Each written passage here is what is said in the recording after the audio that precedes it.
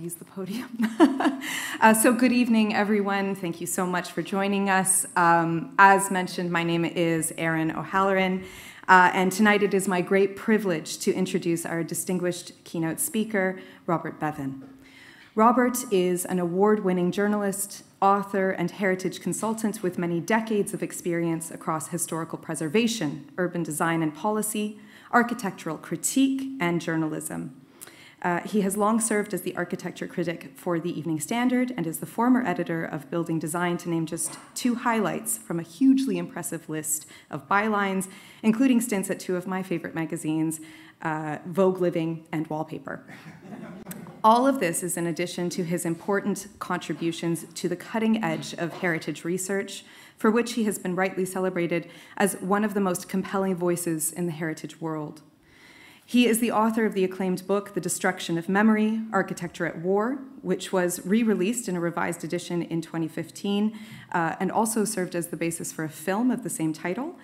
And most recently, Monumental Lies, Culture Wars, and the Truth About the Past, which featured on several lists of the best books of 2022 and which forms the basis of his talk this evening. Robert is also a member of the International Council on Monuments and Sites, which advises UNESCO, as well as the Blue Shield, which addresses heritage and crisis, notably during times of armed conflict. The role and significance of the built environment in the midst of war forms the subject of Robert's Destruction of Memory, which I decided I would just highlight briefly since we're going to be talking about his other book uh, in, his, in his lecture. Uh, in Destruction of Memory, he argues with great eloquence and force that architecture is not an accidental victim of modern warfare, but one of its key targets. In eradicating the physical reality of the built landscape of people and habits, perpetrators execute a program of what Robert has termed enforced forgetting. For, and I quote, memories, history, and identity are attached to architecture and place. Thus, in armed conflict, buildings, as much as people, are the enemy, are the target. This, Robert reminds us, is not to equate the destruction of buildings with the destruction of human lives on a moral, on a moral plane, but rather to begin to, con- to contend with the extent to which the fate of architecture, the fate of schools, hospitals, libraries, public works, places of worship and social gathering, bakeries, and grocery stores, is inextricably bound up with the fate of human beings, their cultures, and societies. This leads Robert back to the clauses on cultural genocide, which were drafted by Raphael Lemkin and rejected by the great powers at the United Nations uh, when they were defining genocide following World War II.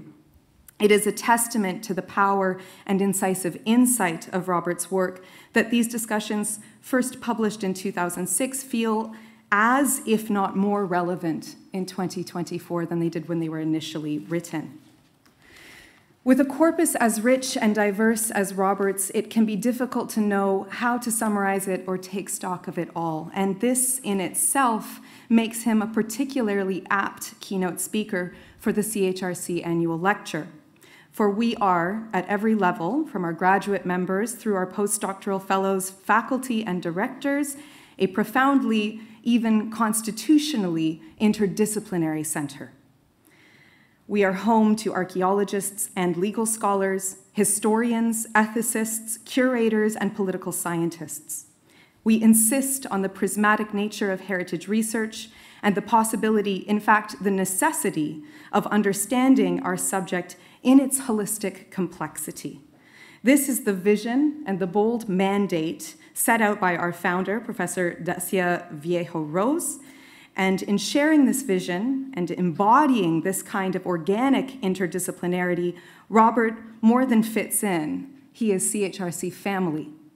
Uh, Robert, thank you so much for being here this evening. I'd ask you all to please join me in welcoming him to Cambridge.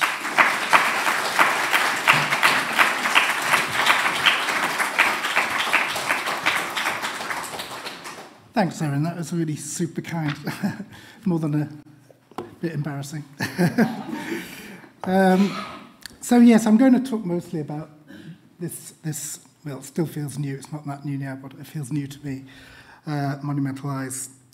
And what I contend in it is that if we read a city carefully enough, it will tell us about our past. And just like a book on a library shelf or a document in an archive box, monuments, architecture, and cities are evidence of history. What's more, the city's constituent elements, from the palace to the slum, are material evidence. Actual physical traces of past events, as well as witnesses to, to previous ways of thinking. Can you hear me all right, by the way? Thank you. Um, embedded within them, these containers of our daily lives are politics, economics, and values that may be very different from ours, but which are still having their effect today. As Hannah Arendt observed, the reality and reliability of the human world rests primarily on the fact that we are surrounded by things more permanent than the activity by which they were produced. So when our cities are reshaped as fantasies about the past, when monuments and statues tell lies about who or what events deserve immortalization, the historical record is being manipulated when we are told falsely that certain architectural styles are alien to our culture or that people naturally prefer to live among their own kind, the, reali reali the, reali the reliability of the world is called into question. Our streets and squares are not the morally neutral, inert assemblages of brick and stone that they pretend to be.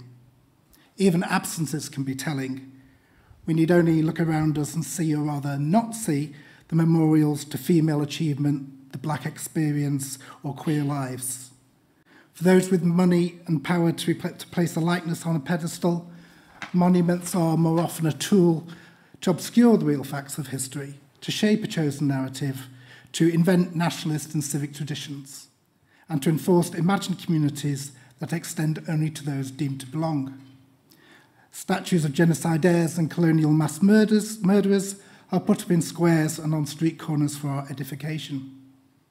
Monuments tell deliberate, calculated lies, and they are lies that are being mar marshalled in the culture wars.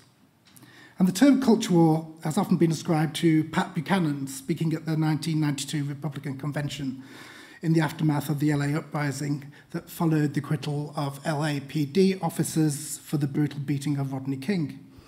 Buchanan called for a war for the soul of America, he said, It's a cultural war, as critical to the kind of nation we will one day be as was the Cold War itself. He called for US cities to be taken back street by street, presumably taken from people of colour. The 80s and 90s version of the culture wars was often, take, often took the form of accusations of political correctness. These aimed, as the anti woke campaign does today, to stymie progress on social justice and reverse its gains. So we're not so much in the middle of a brand new culture war as deep amidst the latest campaign. With capitalism and the planet in crisis, and neither the parliamentary right or left able to effectively solve this permanent crisis, culture wars are also a useful distraction from demands for economic change and material gains. On the one hand, there's a post 9 11 fearfulness of the other, a neoliberal land grab of the public realm, and the rise in nationalism and nativism. And on the other, the black, feminist, decolonial, and queer critiques of the monumental canon that are um, having some success in changing the conversation. Activists are demanding not just more and better statues, but the toppling of stone and bronze street corner killers that have been used to whitewash reputations and justify the stolen fortunes of entire continents. Historic places and commemorative landscapes have both, both been contested over and over again down the centuries. But this time around, architecture and heritage are on the culture war's front line. And I think often a telltale sign that uh, a monument to an individual event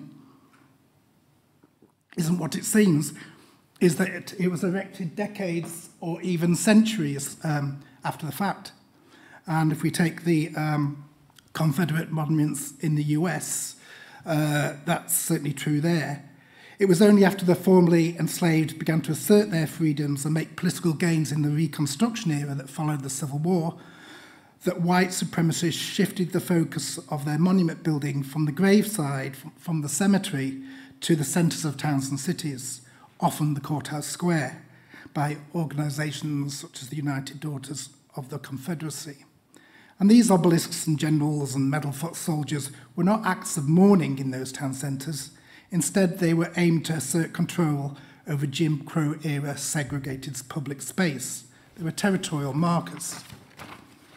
Many were erected in the 1920s, almost half a century after the Civil War, and during another period when the African Americans were asserting their rights following the First World War. Um, and if we look at this, this is this doesn't really give you the scale. This is Stone Mountain in Georgia, the largest bas relief in the world, I think. Um, huge, absolutely huge. Um, it has strong Ku Klux Klan associations. Uh, one incarnation of the Klan was founded on top of Stone Mountain. And these are massive images of the three Confederate leaders, Jefferson Davis, Robert E. Lee, and Stonewall Jackson. Um, and as an idea, this project began in 1914 and work started, but for various reasons stopped in 1928. And it was only following the uh, 1954 Brown versus the Board of Education decision, which was a big blow to segregation and the birth and saw the birth of the civil rights movement, that the state of Georgia uh, actually bought Stone Mountain in 1958 under a segregationist governor, and work recommenced on this sculpture in 1964, and it was only completed in 1972. That's astonishingly recently, within my lifetime at least. And there was a plantation theme park at the foot of the mountain that opened in the 60s, where the enslaved were called hands or workers rather than slaves. So not a great place.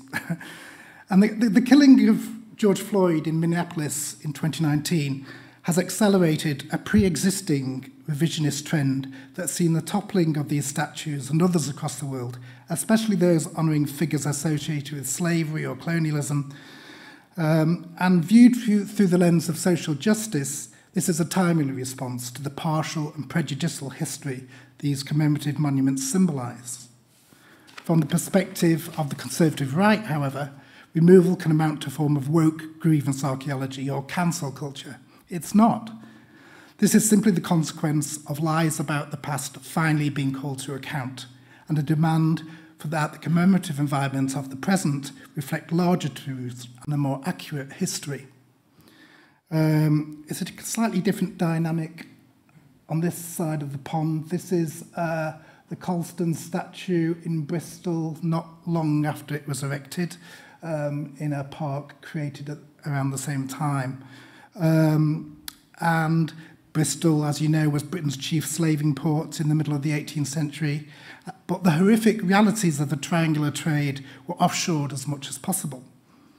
And here in Bristol, um, Edward Colston was the city's most honoured son, at the centre of Bristol's self identity as a city made admirable by a legacy of charitable giving.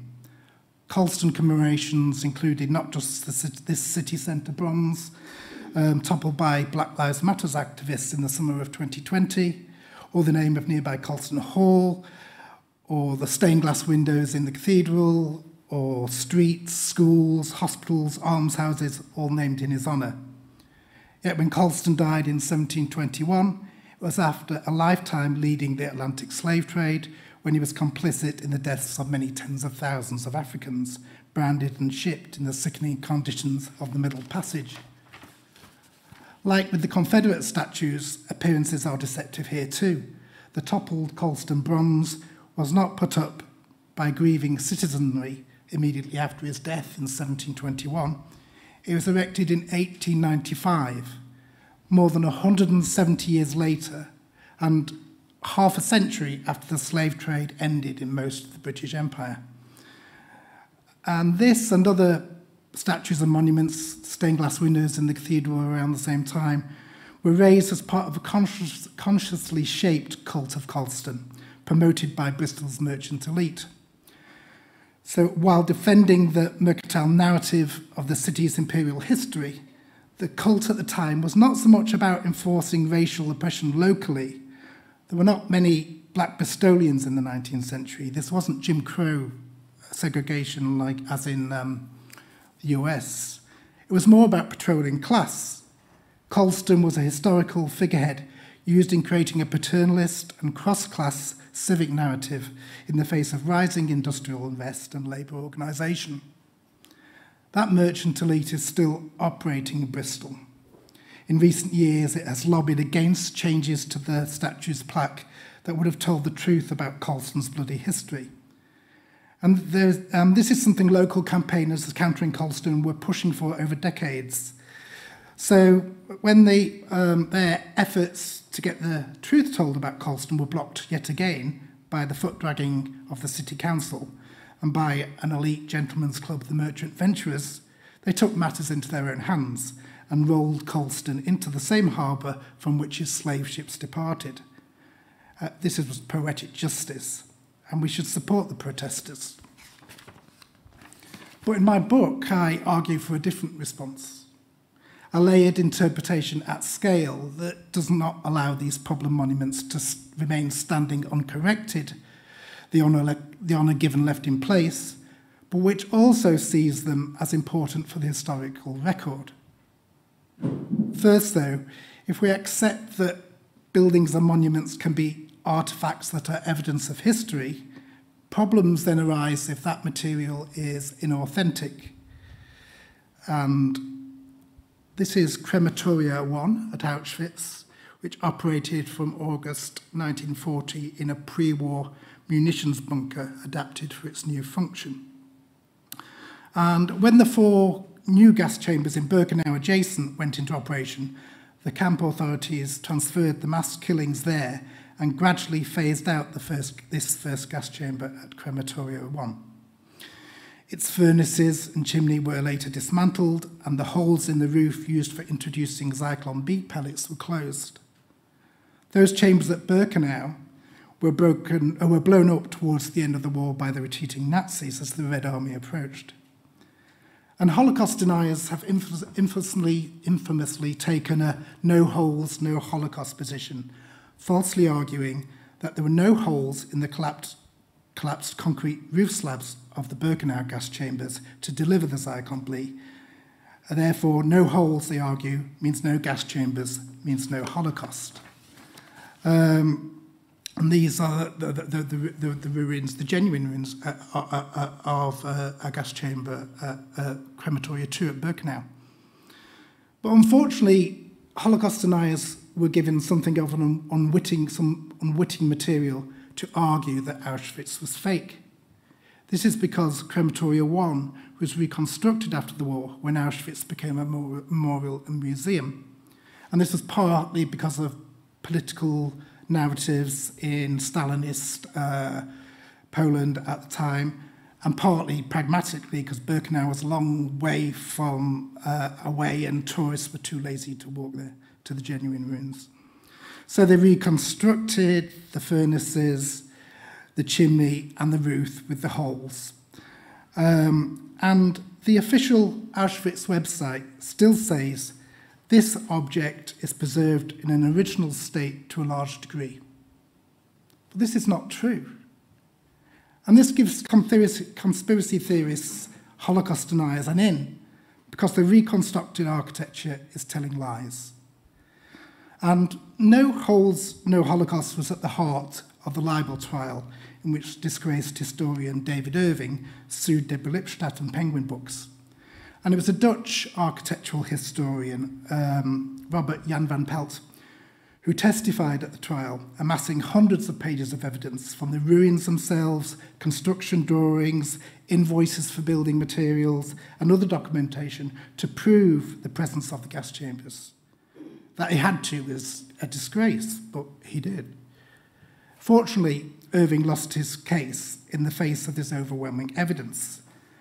And since then, no holes, no Holocaust has been comprehensively refuted. And finally, a couple of years later, um, the actual holes were found with the bent reinforcement, reinforcement bars.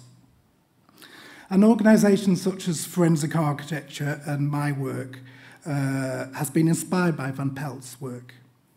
And it, because it shows that the devil really can be in the detail, and the details have to be authentic. If we look at this image of Dresden, everything you see there from the cupola at the top of the Frauenkirche to the cobbles, is fake, apart from a few stones in that facade, the dark patches. It was all, um, it, it, it was all reconstructed in the past few decades. And many worry that we are in a post-truth age where emotion and belief have achieved primacy over reality.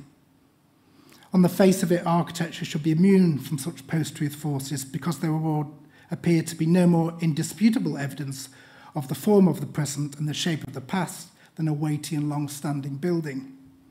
The very physicality of architecture, its relative longevity, gives the impression of certainty. And what you see is what you get, lack of complication.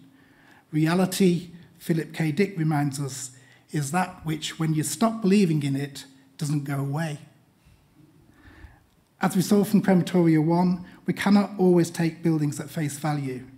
But nonetheless, the architectural is a useful dupe for those wishing to manipulate the present by misusing the past, because the apparent outward impassivity of non-figurative um, structures is particularly effective at disguising its ideological content. So in a context where, as the anti-cosmopolitans are on the offensive, the foolish belief that this townscape is disinterested makes its manipulation an effective weapon against the truth. The architectural and commemorative environment thus has a much underestimated role in fostering and cementing falsehoods about history. It's a tool that renders these falsehoods physical, making them harder to refute. So when buildings and monuments are inauthentic, Arendt's tests of reliability becomes undermined. And you'd think then that uh, demands for authenticity in the present day would be heightened, but instead we're moving away from the concept. Um, and as I said, everything you see in this slide is, is, is, is almost new. Uh, the Frauenkirche was completed in 2005 as the first step in rebuilding of the entire Neumarkt. And Florence on the Elbe has become Las Vegas on the Elbe. Um, and, but not, the Neumarkt is not just a focus of tourist visits. The anti-Islamic group Pegida and neo-Nazis marched to the Frauenkirche construction site year, uh, month after month. Um, it became the, the reconstruction of, of uh, uh, uh, uh, historic monuments in Germany has become tied to the far right. And it's, and it's in Germany where the culture wars have taken on their most architectonic character. And here, as a part of a concerted attempt to rebuild Blitz city centres as, as historicist pastiche, we are seeing not just the rehabilitation of classical architecture, for a while entirely tainted by the Third Reich associations, but also the rebuilding of long vanished palaces, churches, and whole city quarters, as if Hitler had never happened.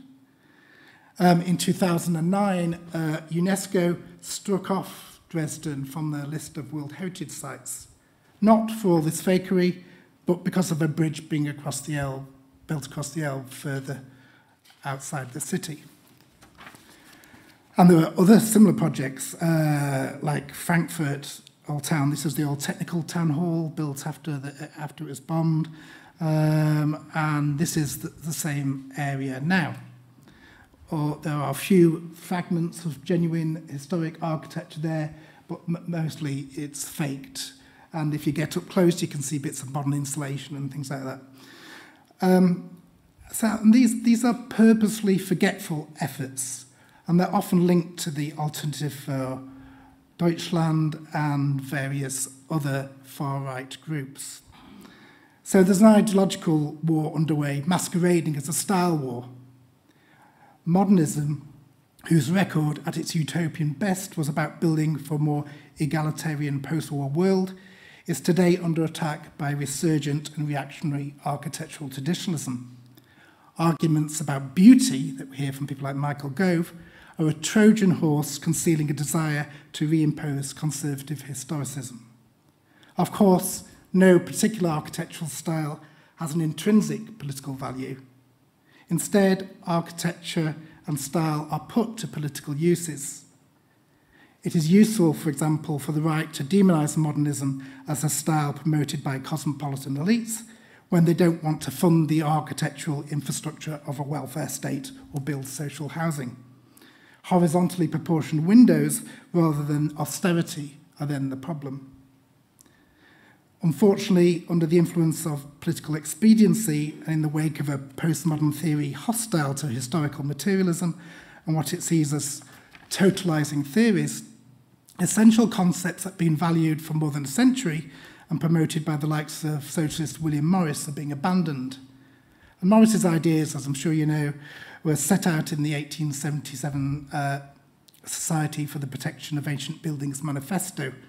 And these later found their way into key international conservation documents such as the 1931 Charter of Athens and the 1964 Charter of Venice, and demanding authenticity in preservation and reconstruction, For example, intellectual honesty in being able to visibly separate new work from old.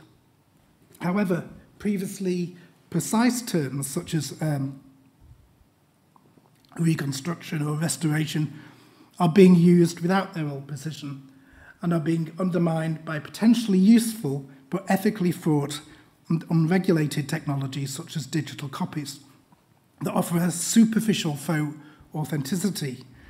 Um, And the rot starts at the top, um, in UNESCO's case. Uh, and uh, UNESCO, for UNESCO, it's about political convenience and misjudged attempts at post-conflict reconciliation, as well as a desire to resist iconoclasts.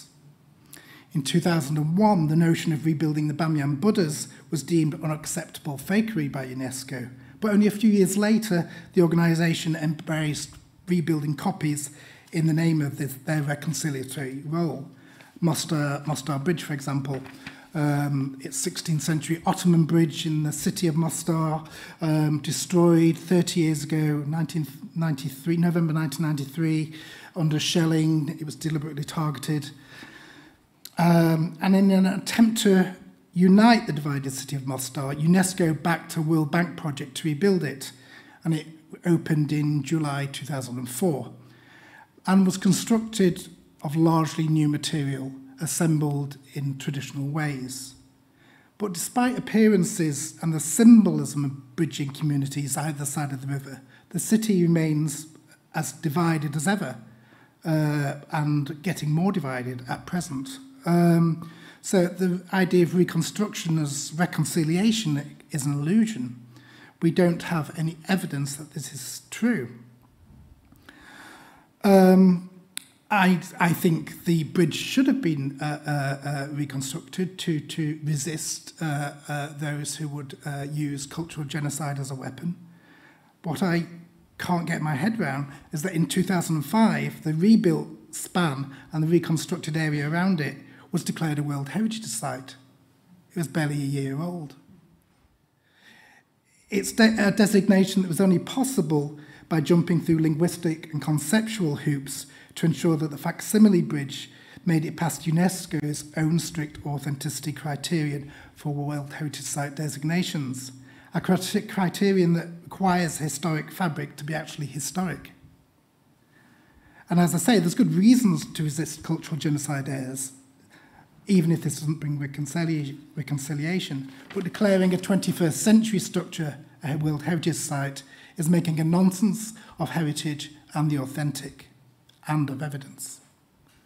Similarly, in 2015, UNESCO declared that war-ravaged Palmyra in Syria would be rebuilt without even having inspected the damage. At the same time, the emphasis was put on the damage to Palmyra caused by ISIS and not that caused by Assad's forces and the Russians. Indeed, Putin's army was praised by UNESCO for recapturing Palmyra, ignoring his bombing of hospitals and civilian centres nearby. This can have only encouraged Putin, emboldened him. It, so in its eagerness to frustrate iconoclasts such as ISIS, UNESCO has set aside fundamental principles, and this is having consequences today in the Ukraine. So we have more data about the world, more measurements, more images of it than ever before in history. But we live in a time when verifiable facts are trashed as fake and unreliable alongside the expertise that identifies them. and where even the heritage organisations themselves are facilitating the confusion. Authenticity is a word in danger of being rendered meaningless by brand marketeers and pop psychologists, but which is too important to lose to such slipperiness. All manner of evidence is required if we are to successfully, successfully smash the mythology of colonialism and empire and have an honest reckoning with the past. And we need to place historical materialism and material evidence alongside witness testimony at the core of this process, rather than the more unreliable and, and problematic idea of memory. And in this, I'm kind of revising something, things I wrote in The Destruction of Memory. Um, um, so, um, but in this context, in the UK at the moment, in this post George Floyd's phase of statue toppling, um, various commentators have claimed that statues and monuments aren't even history. And this simply won't do. Yes, they can be bad history, but their very evasions can reveal deeper historical truths. The evidence supporting, so because the evidence supporting the historical record is not only words on a page, but also material artifacts. Leon Trotsky might seem an unlikely source of design wisdom, but he was an astute cultural observer and understood the role of architecture as a record of history. He wrote of the Renaissance that it only begins when the new social class, already culturally satiated, feels itself strong enough to come out from under the yoke of the Gothic arch, and to look, to look at Gothic art and all that preceded it as material for its own disposal. And this is more than an elegant metaphor. Uh, he believed that architecture, above all the arts, revealed the dialectical processes of the arc of history. So if we accept that they are evidence, what should we do about them? Because despite all the lies and distortions, monuments can have a good faith purpose. If suitably transformed from sites of honour into sites of shame or conscience or reactivated as thinking sites. Architecture more generally can help prove criminal responsibility for misdeeds such as ethnic cleansing and genocide. Who dropped the barrel bomb? Who shelled the bridge? Who looted the museum? who, at Grenfell Tower, allowed the wrapping of high-rise public housing with deadly inflammable cladding. When man, where monuments were erected to the perpetrators of terrible deeds, they can tell us about the cynicism of the monument's backers. When erected to foster lies, they tell us that those lies were thought necessary. Certainly, this objectionable landscape can't be left untouched.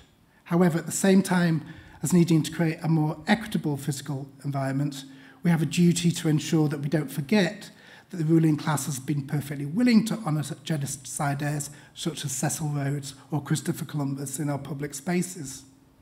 But the answers aren't as simple as they might first seem. So before we embark on a new iconoclastic wave, we need to acknowledge the many myths and understanding about why our commemorative landscape is the way it is and about great iconoclastic episodes of the past especially those that came at the end of totalitarian regimes.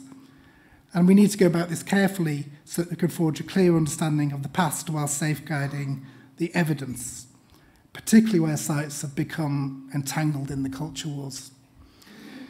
And there's these many complexities to iconoclasm, many grey areas, and people misused past iconoclastic waves in order to justify the new ones. And here's a just one example of, of, of that complex legacy. It's the monument to the Soviet Army in Sofia, built in 1954 on the 10th anniversary of the liberation of the, uh, uh, of the country by the Soviet Army. But um, in 2011, the monument was painted overnight by a group of anonymous artists who called themselves Destructive Creation and who dressed the Soviet army soldiers as the American pop culture characters like Superman and Captain America, and there's Ronald McDonald and Santa Claus in his Pepsi outfit. Um, and the caption scrawled below means roughly in keeping, um, in keeping with the times. And the intervention might be seen as a critique or a celebration of capitalist consumerism or a calculated insult to Soviet militarism and occupation, or both. And Putin was furious at the injury to the memorial, and the paint job was removed within days. and it's actually now talked that being, uh, I think it's about to probably be removed altogether.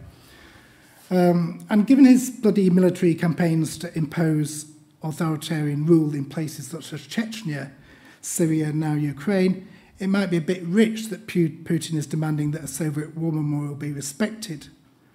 But can we just dismiss the historical losses? Millions of Russians did die in the fight against fascism. Bulgaria was liberated, but also then occupied. Both things are true. Uh, and there are other complexities like the way Columbus was used to, uh, in America, depending whether you're Spanish, indigenous, or Italian immigrants who used the Columbus legend to become racialized as white. Um, for Native Americans, it was part of a genocidal catastrophe. Um, so there's all, all these complexities that come into play. So, how best then to use the German terminology? Do we turn an Ehrenmal, a monument that honours, into a Mahnmal, one that symbolises shame or regret? And I'd say a policy of subversive transformation demands a comprehensive recontextualization, recontextualization at, at a scale that changes meanings, ideally in an additive layered way. And these new layers should challenge but not entirely obliterate the monument so that its original meaning can be, still be understood, even where the honour is undercut. A small plaque may offer some explanation, but will not alone change the monument's public role or the context in which it operates. Um, Cecil Rhodes is a case in point. You're probably very familiar with the whole saga and the bad faith uh, decision of Oriel just to end up with this little plaque at the foot of the building. Um, I won't go into detail here, but uh, it, it, it, the, you know the honour remains. The building is still named for him, the wing, and he's there looking down on the high Um, um, and uh, in fact, the last uh, uh, uh, uh Nadine Dorries, when she was still culture minister, actually gave statutory protection to another Rhodes, second Rhodes memorial around the corner. Um, so what are the alternatives uh, to, to a plaque or doing nothing? Um, um, there are many guerrilla and temporary interventions like we saw in Sa Sofia uh, that offer useful lessons. Um, and here is Gladstone, and this is um, in Bow in East London, uh, outside Bow Church. And for many decades, he has had his red right hand painted bloody red. Um, who does it and why is unclear. If the paint is removed, activists repaint the blood in secret overnight. And in recent BLM conscious years, the assumption has been made that the red paint is commentary on the Gladstone's family linked to plantation slavery. However, the longer standing tradition is that it's a reference to the match girl workers at the nearby Bryant May match factory. And the statue was paid for by the factory's owner in gratitude for a U-turn on a proposed match tax and erected with great ceremony in 1882 in Gladstone's own lifetime. And we can see what happens with memorials erected in people's own lifetime when we look at the, what happened with Jimmy Savile. Um, it's an urban myth that the match girls had to pay for the, for the statue out of stoppages from their own wages, although indirectly their labour created the profits that funded the gift. But this myth may be the initial reason for the red right hand, along with a commemoration of the successful 1888 strike that had figures such as Annie Besant at its head. And the action was notable as a turning point for women in the British labour movement. Um, apparently, a plaque is to be erected nearby, commenting on Gladstone's less savoury side. But as at Oriel, this doesn't won't challenge at scale the honour given to Gladstone. So, how about a counter memorial that provides another narrative, something commemorating the strike directly, maybe, or Eleanor or, or, or Annie Besant, or the slavery connections, or in a truly intersectional approach, both? Uh, there are other examples. This is Banksy's proposal for the Colston statue. He was suggested um, get building, bringing the battered statue out of the harbour, covered in graffiti, putting it back up, putting it back up on its pedestal, but adding some bronze figures of protesters eternally pulling it down, commemorating the day when they pulled it down, changing its meaning. Um, I'll just race through this one because conscious of time. Um, um, so, but how there's often these are very often temporary solutions, um, uh, and they can uh, um, not challenge the permanency of an existing memorial. So, how do we then turn uh, uh, a site of honour into a site of shame permanently? And examples of permanent contextualization, relayering or reworking at scale are remarkably few. Um, this is a practice in its infancy. Um, and this is, uh, oh, sorry, uh, this is a almost literal-minded uh, response. Uh, Carlos Colombino's uh, reuse of the parts of a monumental figure of the deposed Paraguayan dictator Alfredo Stroessner.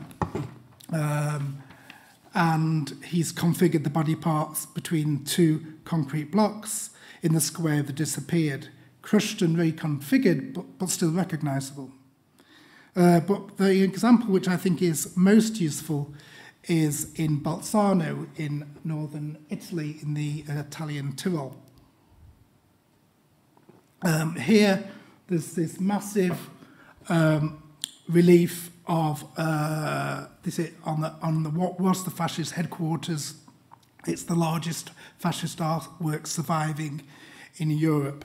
Um, 198 square meters of stone.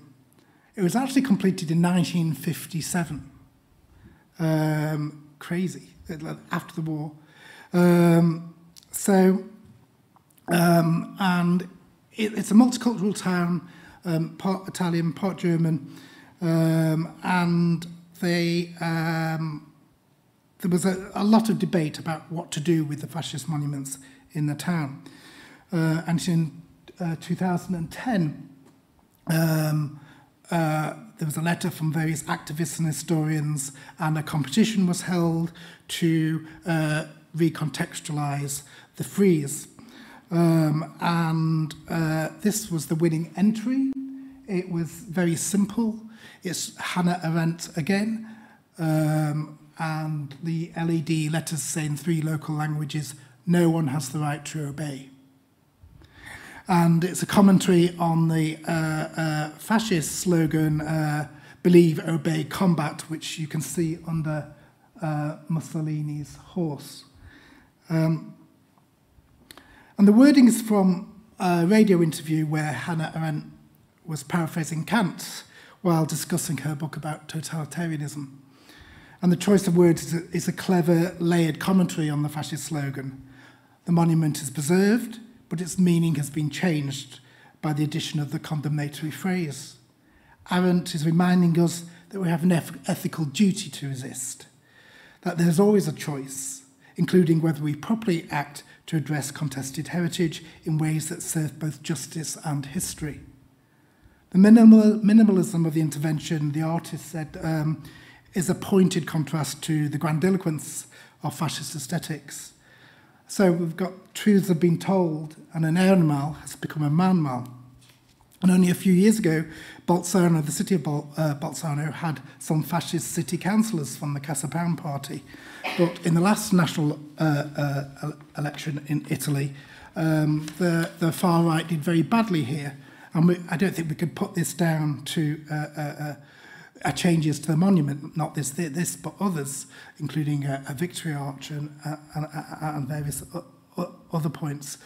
But maybe we can partly attribute that political change to having a serious conversation about the issues.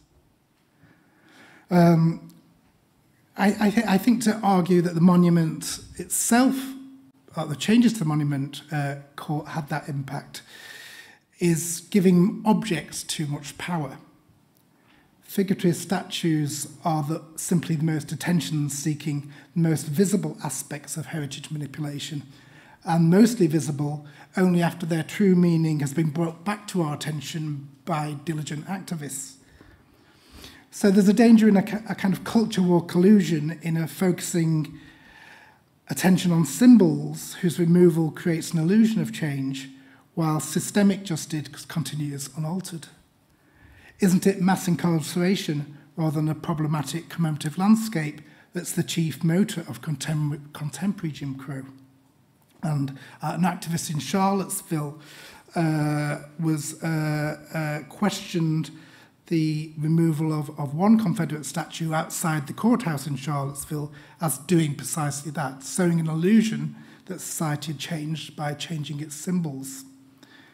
So, because we need to question the degree to which changing the built environment generally alters lives and values. There are many determinist delusions, cause and effect expectations about the impact of monuments and of iconoclasm, or indeed architecture and architectural styles more generally, on us and on politics and on societies. Winston Churchill's often repeated remark that we, we shape our buildings and afterwards our buildings shape us is in truth a problematic oversimplification. There is an underlying thread of determinism here that architecture and design have heavily invested in and promoted. The belief that design may not simply build more equitable places that positively shape lives, which it can, which actually cause social change rather than simply reflect it. And it's a view that not only marginalises the agency of people in driving societal change, but peddles myths about our behavioural response to the physical environment that persists to this day. And arguably, these myths continue when we believe that a more progressive and more inclusive monumental landscape will itself produce a social change. Yes, we need to be able to separate out truths from lies, not just online or in news bulletins, but in the built environment. And yes, we need to look at ways we can layer our monuments on our cities and that turn sites of honour into sites of shame, that change the meaning of the past without losing altogether the vital evidence of that past from the public realm.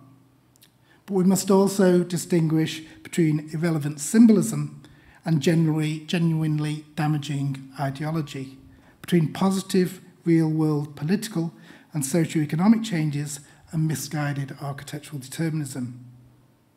It's possible too that tolerating uncomfortable evidence might be easier within the context of real world gains.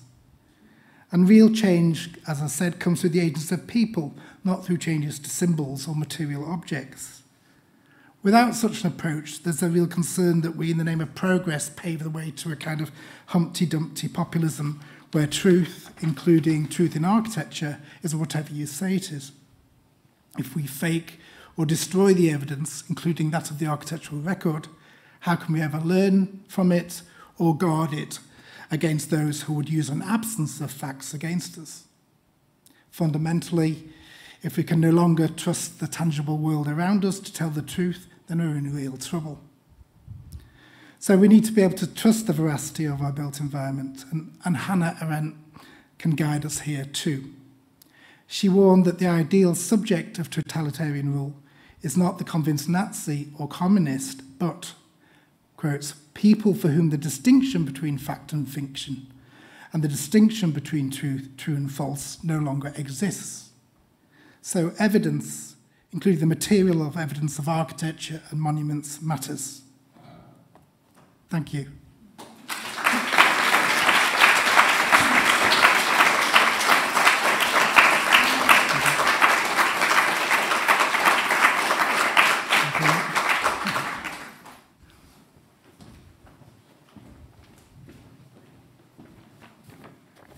All right, thank you, Robert. Sit down and have a well-deserved rest for a few minutes. Um, my name is Wendy Pullen. And I'm just going to say a few words in, in uh, response to this, this wonderful lecture that we've just had. Um, I th think that I probably want to begin um, by saying simply that um, it's a provocative lecture. And thank you very much for that, because we need to think about these things and we need provocation. Um, and of course, what goes along with that is it's also a brave lecture.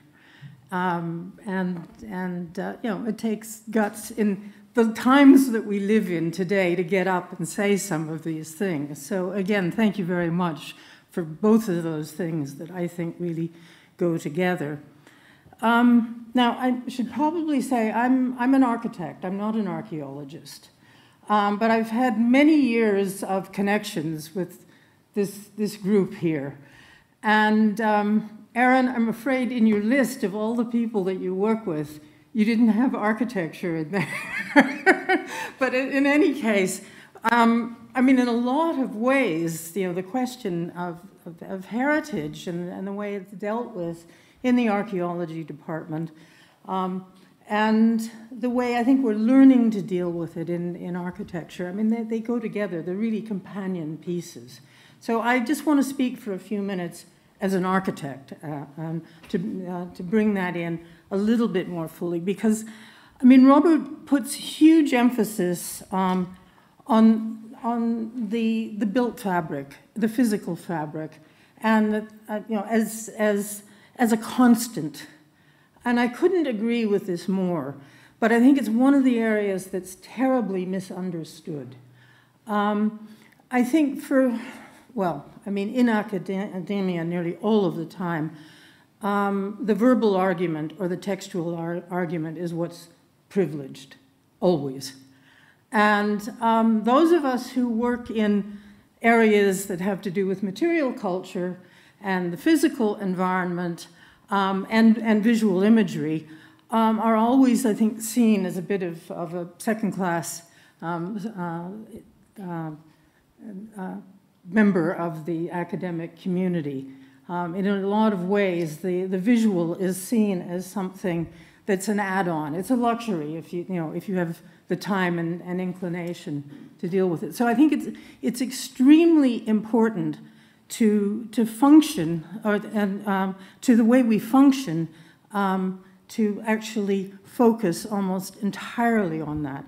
And I'll say that, that you know, as an architect speaking here, I think it's important to realize that um, the, the physical fabric and, and visual imagery is not just another way of looking at the verbal or the textual. I mean, we're actually looking at ontological differences here. Um, that that uh, what is verbal and what is textual um, is, is essentially linear. I mean, that has to do with narratives. Whereas the sorts of things that Robert showed us tonight um, have a great deal of what I would call simultaneity, that we're looking at environments.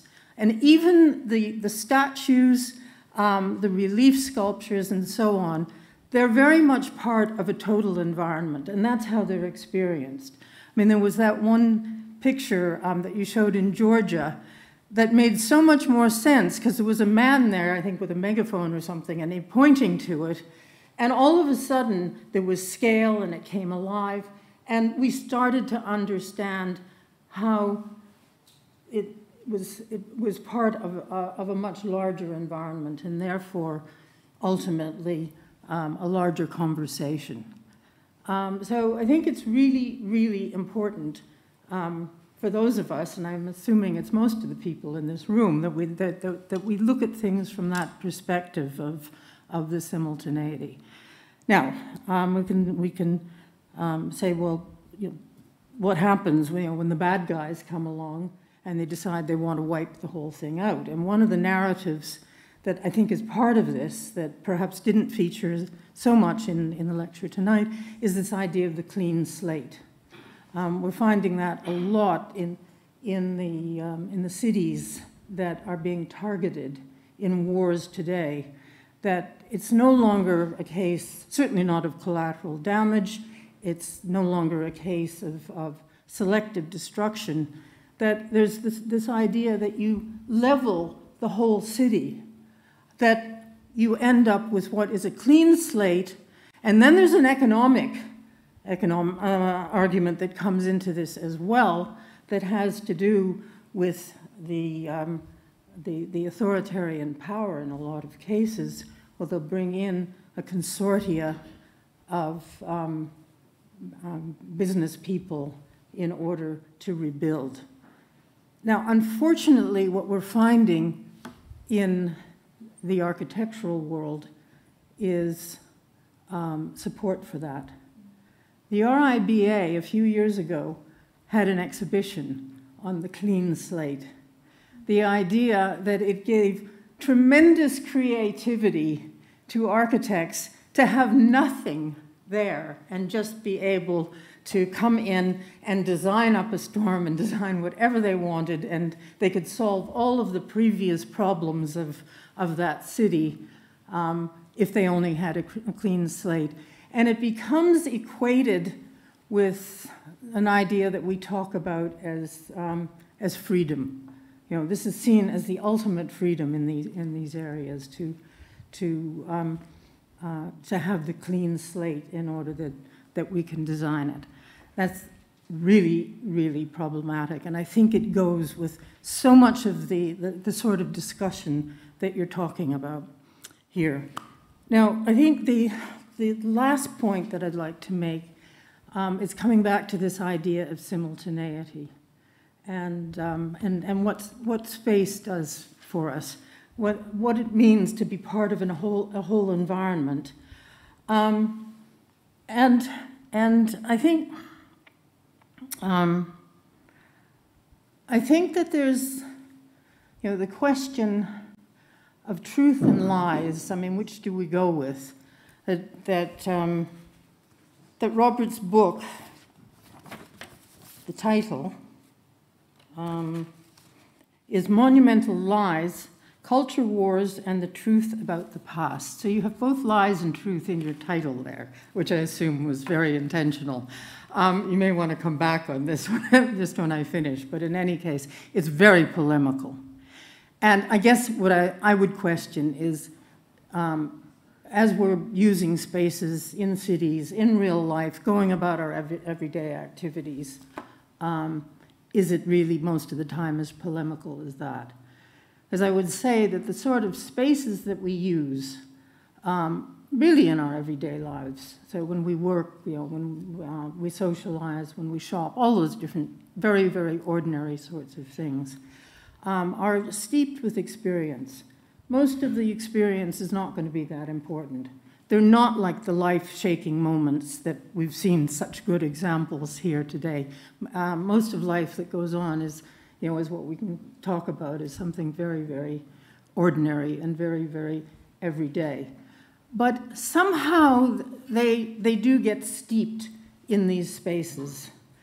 And it means that people who completely disagree with, with each other can come and try to experience these spaces just because it's part of what their lives are. So, you know, they may have to go and buy their cucumbers in the market or or you know, I mean, really, really simple things like that.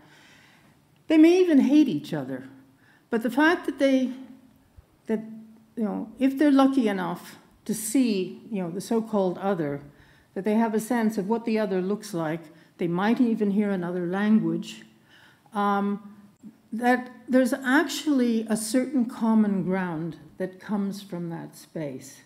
So that what we're looking at is actually not a question of either truth or lies. It's very, very much a dynamic of different possibilities playing one off against the other. And of course, that gets multiplied many, many, many times because there's many people going through many different activities. So we're talking about a real complexity, I mean, a, a field of many, many different dimensions there. But what I would argue is that it's the place that offers the possibility of enough common ground so that even when people have great disagreements, they may have great hatreds and animosities towards each other, but there is that kind of primary experience in the place that for most people happens day after day after day, because this is their ordinary lives, and that somehow gets built in to uh, you know, to, to what life in that particular place is about. And it's, um, and, and so that, that it, it becomes actually a very, very rich dynamic, um, a very, very little events, but still a rich dynamic that goes on um, over, over very long periods of time. And of course it builds and it changes, um, and sometimes it's stronger and sometimes it's weaker and so on, but that it is, that it is very much there. And that's for me, one of the great um, values, really, of, of architecture and urban space, and all of the things inside of it. And, and so, you know, I would say that along with that, it's, you know, it's all, it's the, all of the images and the monuments and the slogans and the graffiti and, and all those different sorts of things. So, Robert, thank you. If you, I, I don't know, if you want to come back and talk about lies and, and truth or whatever. I mean, I think also, we, yeah, we have a little bit of time for questions, if you'd be willing to, to answer the questions. Um, so come back. You've had your rest.